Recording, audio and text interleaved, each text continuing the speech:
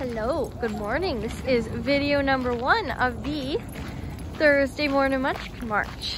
We got 11 munchkins today. Munchkins, maybe woofers. we have Max B. Maxie's a Labradoodle. We have little Odie, one of the schnauzers with us today. He's a mini schnauzer. And then we have Buddy, the brown fluffy Labradoodle with Bentley, the Puggle, Pug Cross a Beagle. We got Miss Penny Carkner, the Golden Doodle. And then right there beside Otis is Otto. He is Otis's adopted brother.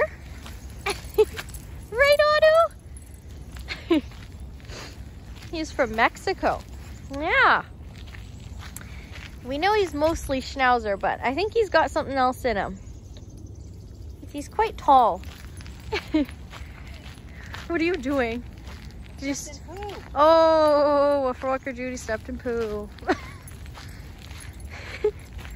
and then we have Abby, Abby Dabby Jew. Abby's a beagle, and there's Bailey Vincent. Miss Bailey is an Australian Labradoodle.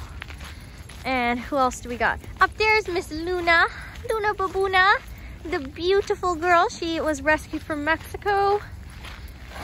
And who else do we got? They're very excited about you dragging your foot there.